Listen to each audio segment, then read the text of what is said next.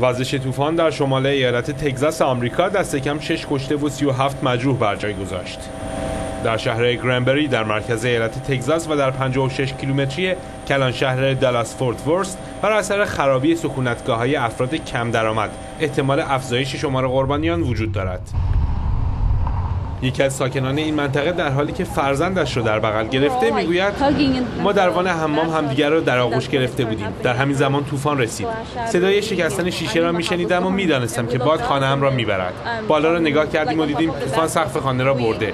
فکر کردیم باد ما را هم با خود برده است.